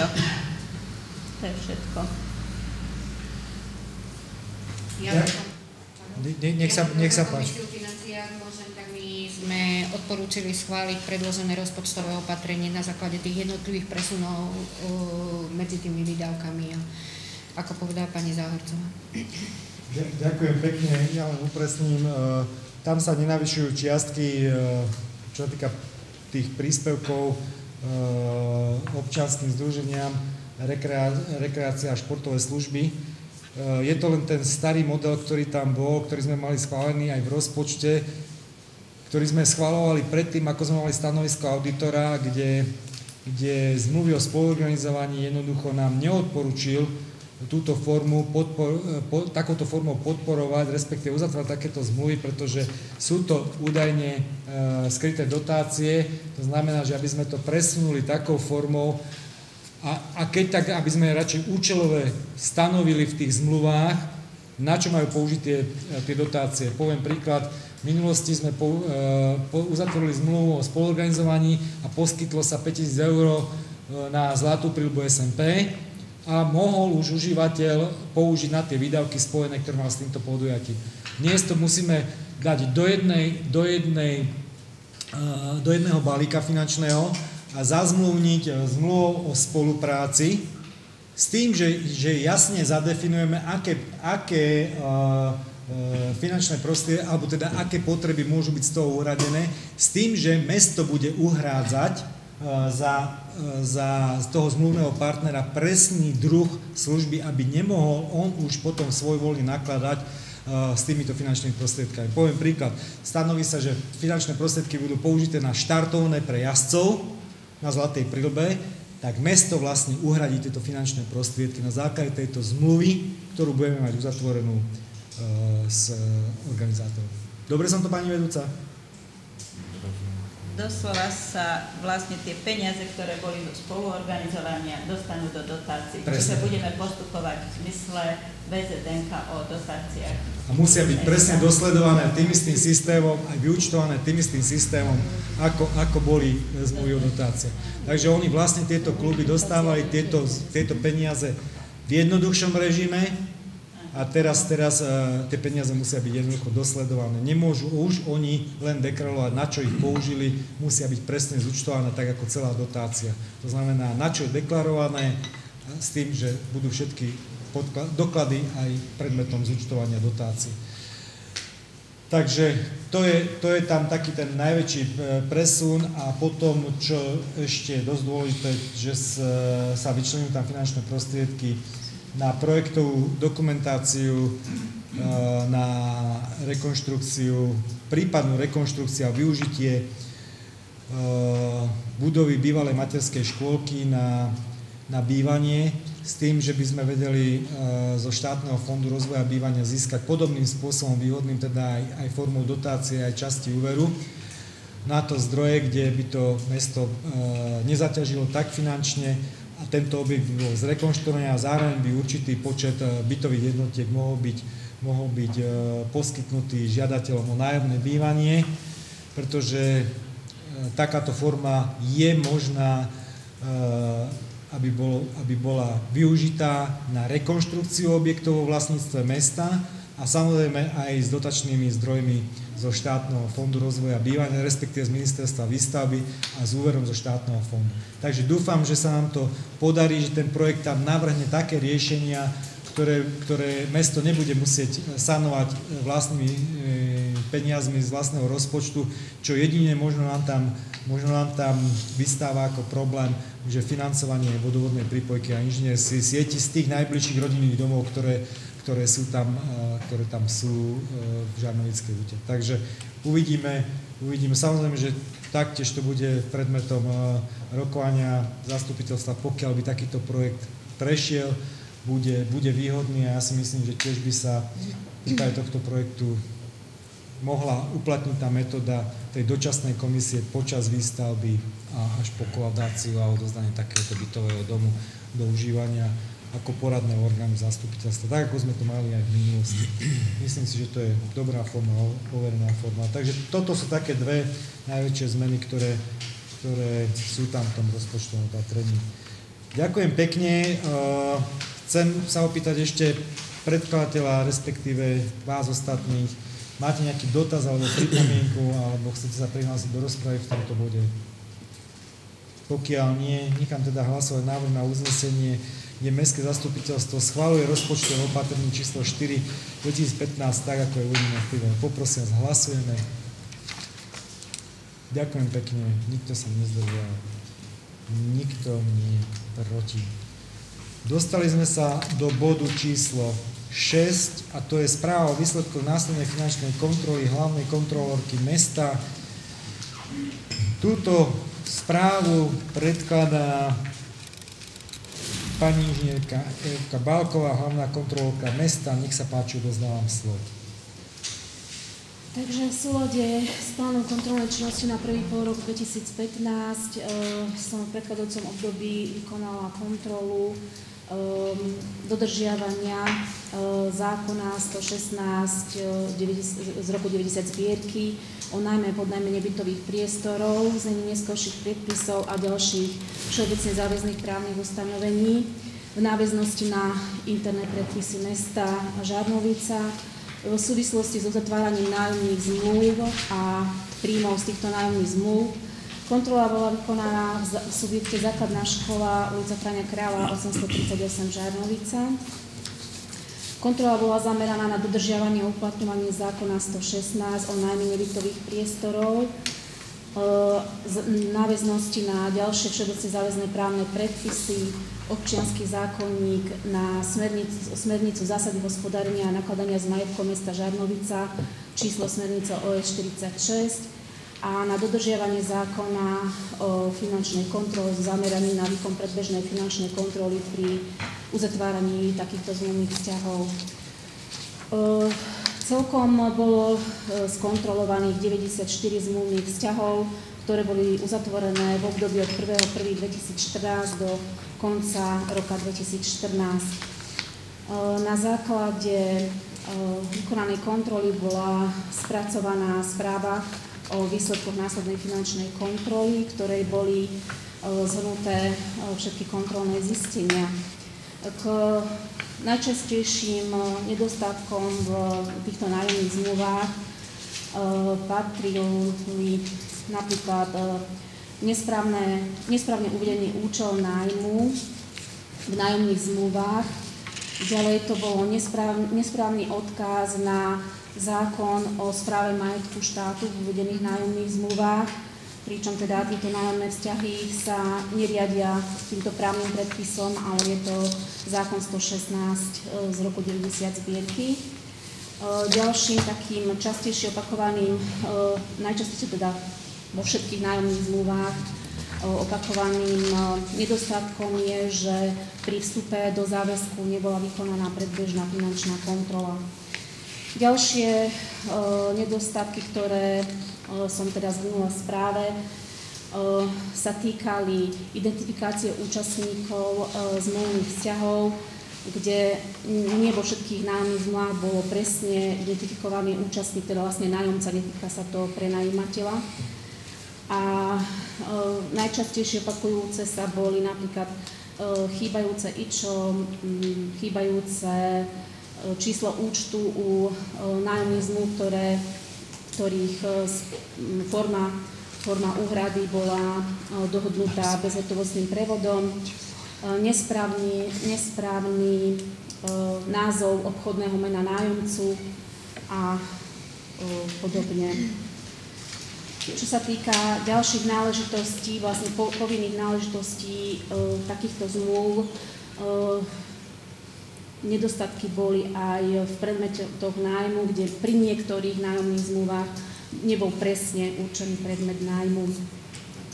Čo sa týka času a doby uzatvorenia nájomných zmluv, v niektorých nájomných zmluvách e, nebolo jasne dohodnuté časové rozpetie, um, dohodnutého času nájomnej zmluvy, pričom teda obdobie zadané v zmluve bolo a v niektorých zmluvách nebol presne očitateľný počet hodín nájmu.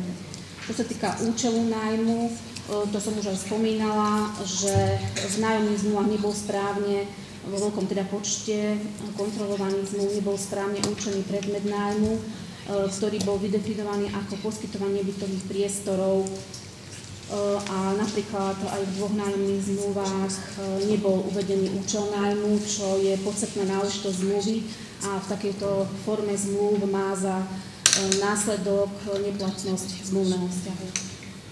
Čo sa týka výšky nájomného, e, tak stretli sme sa s problémami pri zadefinovaní výšky súvisiacich, súvisiacich aj s tým časovým rozložením nájmu. V niektorých nájomných zmluvách chýbal, keďže boli na dlhšie časové obdobie, chýbal časový harmonogram, z ktorého sa potom teda dá jasne vypočítať aj výška nájmu, keďže zmluvy odkazovali na kalkuláciu nákladov. V niektorých nájomných zmluvách týkajúcich sa telocvične bol odkaz na kalkuláciu, v ktorej boli uvedené dve výšky s rozdielnou sumou závisiacou od skutočnosti, či prenajímateľ, či nájomca užíval po nájme aj možnosť vlastne využitia sprch alebo nie, čiže to sa týkalo vlastne odberu vody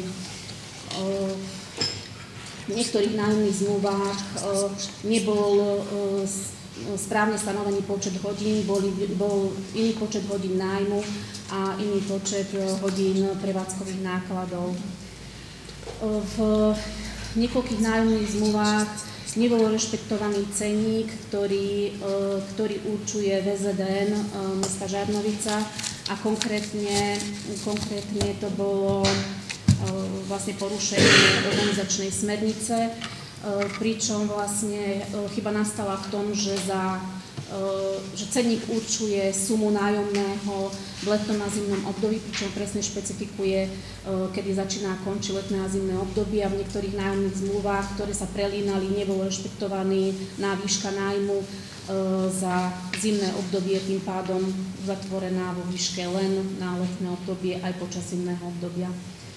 Um, ďalšími nedostatkami ešte teda um, sa, sa stalo, že boli uh, nesprávne určené uh, nesprávne určená veta v, v záveroch zmluv, čo sa týka účinnosti zmluvy, pričom je evidentné, že subjekt rozumie a teda chápe e, spôsob e, platnosti a účinnosti zmluvy a to bolo vlastne dokladované tým, že v aplikačnom vybavení EGO sú tieto lehoty zadávané správne.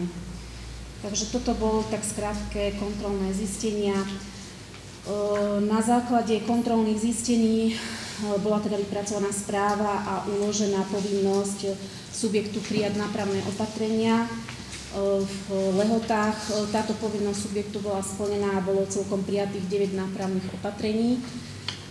Boli takisto určené zodpovedné osoby za plnenie nápravných opatrenia aj za vlastne chyby, ktoré, ktoré nastali. A kontrola nápravy opatrení je určená na ďalšie nasledujúce obdobie. Takže toľko k tejto kontrole. Prehľad jednotlivých subjekt, jednotlivých nájomných zmluv, ktoré, e, ktoré boli odkontrolované aj s, časťan, aj s úhradami a s termínmi ich podpisu a zverejnenia, čo sa týka teda vlastne platnosti a účinnosti zmluvy, nájdete v prílohe číslo 6 e, tejto správy, ktoré ste vlastne dostali, dostali v materiáloch. To je všetko. Ďakujem pekne.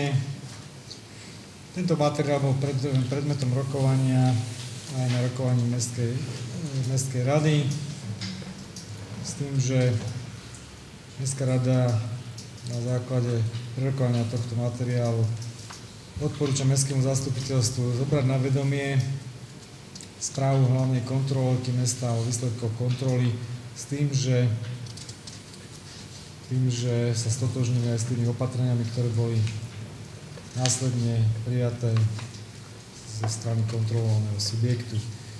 Takže nech sa páči, k tomuto má niekto nejaký dotaz, pripomienku. Pokiaľ nie, nechám teda hlasovať o návrhu na uznesení, kde Mestské zastupiteľstvo berie na vedomie správu hlavnej kontrolorky mesta o výsledkoch kontroly. Poprosím hlasujeme o tomto uznesení. Ďakujem pekne, nikto sa nezdržal, nikto nie je proti. Prejdeme k ďalšiemu bodu, to je bod číslo 7. Je to návrh plánu činnosti hlavnej kontrolorky mesta na, na druhý pol rok roku 2015.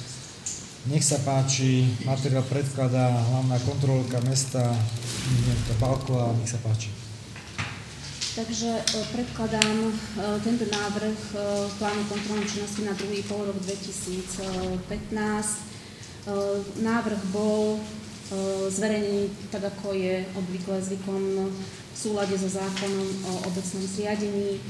Zároveň súčasťou tohto návrhu je aj uznesenie, ktorom teda e, Mestské zastupiteľstvo poverí hlavného kontrolóra v súlade zákonom, so zákonom 502 výkonom následných finančných kontrol, ktoré sú obsahom tohto návrhu. Návrh, keďže bol zverejnený a do dnešného dňa neprišli k nemu nejaké ďalšie návrhy alebo pozmeňovacie návrhy od poslancov zastupiteľstva, predkladám ho v takom znení, ako bol zverejnený. Dobre.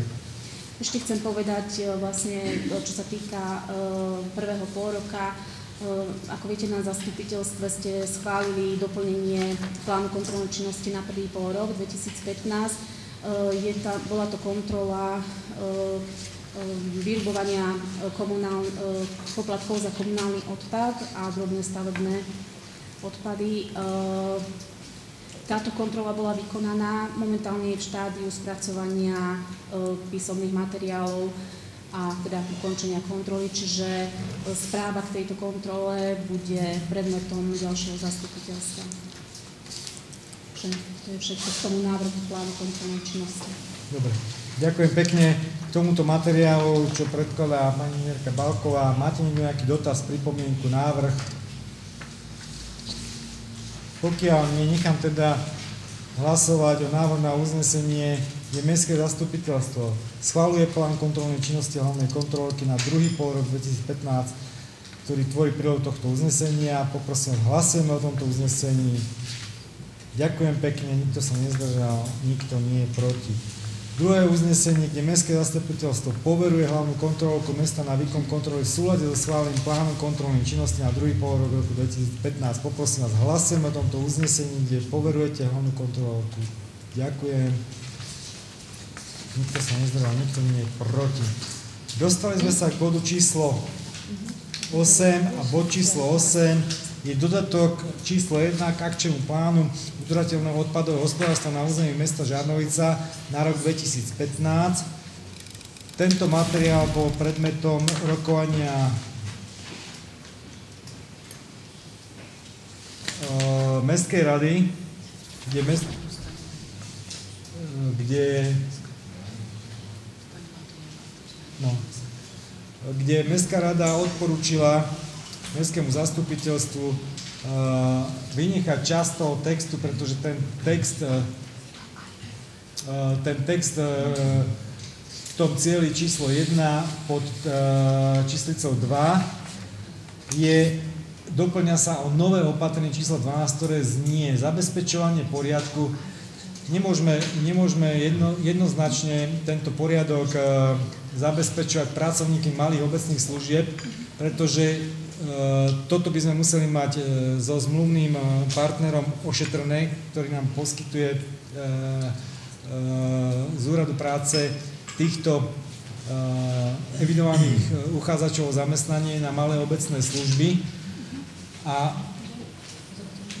jednoducho my tam môžeme využiť tú možnosť, aby sme zabezpečili a zlepšili ten poriadok pri veľkokapacitných kontajneroch počas zberu objemných odpadov ale my nemôžeme vyloženie, vyloženie týchto pracovníkov majú opäť e, zobrať na zodpovednosť na zabezpečenie poriadku. Takže aby to, čo tá pripomienka bola od e, pána poslanca, aby sme, to akcept, aby sme to akceptovali, pretože má to svoje rácio, aby ten poriadok bol zlepšený tam a bol kontrolovaný, ale vyloženie nemôžeme tam tú, te, tú textáciu zabezpečenie poriadku cieľom zlepšiť poriadok pri veľkokapacitných kontajneroch počas zberu objemných odpadov, a budú pri upratovaní okolia kontajnerov vypomáhať menšie obecné služby. To znamená, že aj pri tom e, upratovaní okolo toho, že budeme ich e, využívať na tento, na tento účel. Ale zodpovednosť tak či tak budeme musieť e, pre, preniesť na toho, kto je zodpovedný na naklade odpadom, to znamená mestský podnik služieb. No, a poprosím vás za tú, za tú e, zodpovedajúcu Eh, osobu tam bude musieť byť eh, zmluvný partner eh, Mestský podnik služieb. Dobre? V tom texte zodpovedný. Lebo opatrne prepravu by vkladajú slova a drobných stavebných odpadov a za úlohy môže byť zodpovedný nie malé obecné služby. Pretože drobné... No ale nie, nie, nemôže byť, nie, to nie, nie, nie je to naša inštitúcia, tam musí byť inštitúcia, o to sme sa bavili pri tej zmluve. Mestský podnik služieb. No. Zlepšiť poriadok počas zberu objemných odpadov pri upratovaní okolo kontajna vykonávaní menšej obecnej služby. Zodpovedne. Mestský podnik služieb. Oni nemôžu byť, eh, oni nemôžu byť zodpovední. Nie sú, naš, nie sú to naši zamestnanci.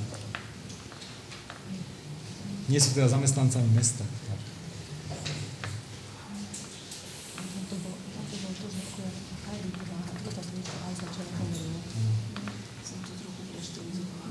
Dobre, dobre. Dobre. Poprosím vás, s takouto malou zmenou ako, ako máte tam uvedené. Tento materiál teda ináč predkladá pani vedúca inžinierka Staňová, len už nebola prítomná pri rokovaní Mestskej rady, kde sa na tento problém narazilo a pri, pri tých malých obecných službách, ale tá pripomienka, aby boli využití, tak sme sa to snažili tak formulovať, aby boli skutočne využití, aby sa ten stav tam zlepšil, ale zároveň teda, aby sme neprekračovali nejaké kompetencie, ktoré, ktoré má aj mestské zastupiteľstvo v tomto smere. Takže poprosím vás, máte niekto nejaký dotaz tomu alebo pripomienku? Nech sa páči, pán poslanec. Ďakujem za slovo. Ja by som chcel len na upresnenie toho, že ten môj návrh e, viac menej smeroval k tomu, aby ten pracovník usmerňoval tých obyvateľov nášho mesta, ktorí s tým tento odpad tam ukladajú, že či tam má byť uložený alebo má byť uložený vedľa kontajnera, je to nebezpečný odpad, aby sa vlastne predišlo k tomu zvýšenému nárastu komunálneho odpadu a stavebného odpadu ako takého a čo teda spôsobuje nemalé finančné alebo náklady finančné prostriedky alebo čerpanie finančných prostriedkov z rozpočtu mesta. Takže skôr tam išlo o to, ani nie upratanie alebo tieto veci, ale o to usmerňovanie tých, vlastne, ktorí tam ukladajú ten odpad a ktorí s ním narábajú. Ďakujem. Dobre. Uh, ešte k tomu? Nech, nech sa páči. Ak by som mohla dovysvetliť, že prečo nešlo vlastne o to usmerňovanie, že skôr sme nehali to upratovanie z toho dôvodu, že tieto malé obecné združstvo sú ako projekt. A my máme s Vratom práce toho uh, zmluvu podpísanú takú, že oni robia vlastne skôr do obeda, tie 4 hodiny, 3,5 hodiny a práve sa stáva, že v obedných hodinách, vo večerných hodinách, keď tam oni nie sú, tieto malé obecné služby, práve vtedy tí ľudia možno vyvážajú alebo v noci e, tento odpad, práve ten, ktorý tam nepatrí. Čo sa týka e, usmernenia, myslím si, že sme dospeli ľudia a chceme dodržiavať, čo je väzenko a čo sa môže, sa nemôže. Zo strany oddelenia výstavy životného prostredia referentka na každom kontajneri spolupráci s mestskou policiou nalepila A3 plagáty, kde vlastne bolo presne napísané, čo do toho kontajnera patrí, čo nepatrí. Takže si myslím, že e, ale hlavný dôvod bol ten, že vlastne uh, oni nemôžu tam byť 24 hodín uh, a tým, že vlastne mestský podnik odváža tieto kontajnery, vysypa, tak vlastne aspoň to, že ten, to dočisťovanie, aby tam bol ten rýchly poriadok, aby neostal ten bordel tam, tak sme to dali ako na zabezpečovanie. Viem, o čo ti išlo, ale jednoducho nemôžeme to zabezpečiť takýmto akože usmerňovaním, lebo to usmerňovanie muselo byť, byť 24 hodín stála služba. Len toľko z mojej strany na dovysvetlenie. Dobre, pokiaľ, pokiaľ by bol aj nejaký iný návrh nech sa páči. Nejde o formuláciu teraz, ide o to opodstatnenie toho môjho návrhu ako takého. Keď tam bude ten pracovník, viem, že malé obecné služby alebo tí pracovníci, ktorí toto zabezpečujú, iné činnosti robia aj na dve smeny, alebo keď tam bude len čas z toho dňa, určite to bude na prospech tejto veci. Nemusí to byť 24 hodín, sme ľudia a vieme, ako každý k tomu pristupujeme mám vlastné skúsenosti, alebo teda z okolia. Takže môže tam byť plagát, môže tam byť čokoľvek, kto tam chce, tak tam hodí čokoľvek, ale ide o to, keď tam, ja neviem, vidím pneumatiky, tak ten pracovník povie, tie nepatria donútra, dá ich tu vedľa a už potom mestský podnik služieb si ich odvezie tam, kde majú byť a zbytočne nezaťažujú rozpočet mesta, zbytočne nezaťažujú životné prostredie a tak. Čiže keď tam ten pracovník bude jeden 3,5 hodiny do obeda, druhý 3,5 hodiny po obede, vždy je to na prospech, určite to pomôže aspoň nejakým percentom tomu. To je môj názor. Ďakujem. Sú, súhlasím, ja sa skôr zamýšľam, zamýšľam nad tým, že ako to tam sformulovať, takže možno e, pán poslanec by tam stačilo doplniť s cieľom zlepšiť poriadok a nakladanie s odpadom, nakladanie s odpadom pri veľkokapacitných kontajneroch počas zberu objemných odpadov, budú využívaní pracovníci z projektu malých obecných služieb. Môže byť. Pokiaľ sa zhodneme na takéto počas verobných podporov, budú využívaní pracovníci využívaní pracovníci z projektu. Môže byť taká textácia? Neviem, ako je to zmluvy. Budú využívaní pracovníci z projektu malých obecných služieb? No, tak oni... To sú vlastne osoby. Osoby. Alebo osoby zaradené do projektu malých obecných služieb. Dobre. Budú využívané osoby zaradené do projektu osoby zaradené do projektu malých obecných služieb. Dobre, takže asi takáto formulácia by bola nejaká, čo by akceptovala aj, aj ten rozsah tej pripomienky alebo obsah tej pripomienky, prečo bola vznesená. Dobre? Pokiaľ, pokiaľ, dobre, kolegyne, kolegovia, ešte, ešte k tomuto návrhu je nejaký dotaz alebo pripomienka Pani vedúca, vy ako predkladateľka máte nejakú zásadnú pripomienku, nemáte?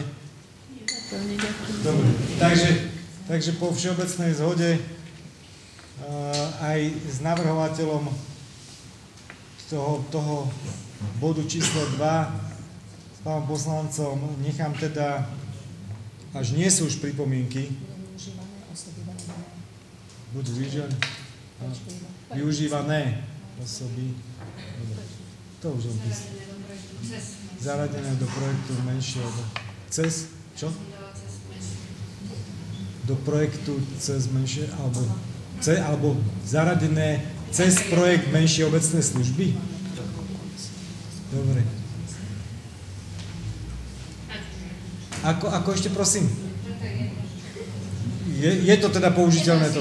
Dobre. Dobre, takže, takže poprosím vás, nechám teda, pokiaľ nie je už nejaká pripomienka k tomuto návrhu na uznesenie, nechám uh, hlasovať o, o návrhu na uznesenie, kde je schválený dodatok, číslo 1 v takomto znení v obidvoch bodoch. Dobre? Takže poprosím vás, hlasujeme, kde Mestské zastupiteľstvo schváluje dodatok číslo 1 k akčnému plánu odpadového hospodárstva, tak ako boli upravené tieto body. Poprosím, hlasujeme. Ďakujem pekne. Nikto sa nezdržal. Nikto nie proti.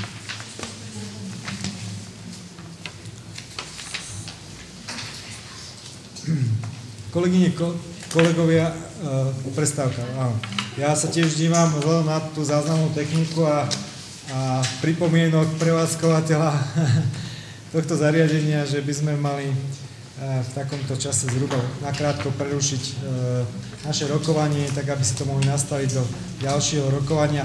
Poprosím vás, nechám teda hlasovať o, o krátkej prestávke s tým, že by sme pokračovali Eh, po malom občerstvení o 17.00. Poprosím vás, nechám hlasovať o tomto návrhu, poprosím vás, hlasujeme. Ďakujem pekne, nikto sa nezdržal, nikto nie je proti. Budeme pokračovať 17.00. Prepáčite, ako